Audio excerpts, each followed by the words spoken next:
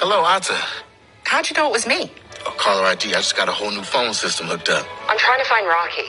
He left this morning to work a wrestling convention in Erie and didn't know where he was staying. Is everything okay?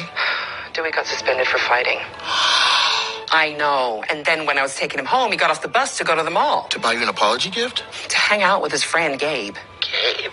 I've never met a Gabe in my life. That's why I want to talk to Rocky. Dewey's such a sweet boy. He's never acted out like this before. The Wild Samoans will know where he is. Here, I'll loop them in.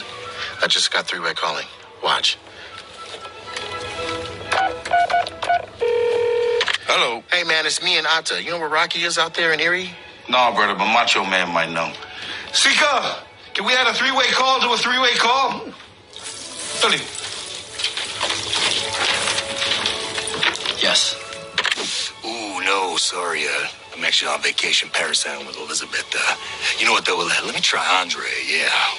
I saw Rocky last night. Oh? In a dream. He was a baby. Okay, I really need to talk to him. Look, Ata, I don't want to put words in Rocky's mouth, but I think I know what he'd say.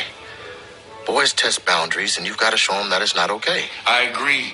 You need to bring the hammer down and nip this in the bud. Sasa. Yeah, you got this, Ata. You're the boss. Ooh, yeah, dig it, You're a yeah. lioness.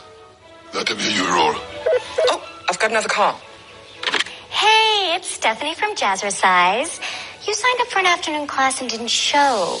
Ata. Ooh, it is. I didn't know you did jazzercise. Yeah. Sorry, Stephanie, you're on a conference call. Yeah, Atasan disrespected her, but she's gonna handle it on her own. Fussy. Right. He's gonna try and test me? No. I'm the boss of that boy. And I am a lioness. Yeah, That's what I'm talking about, yeah. I love how supportive this call is.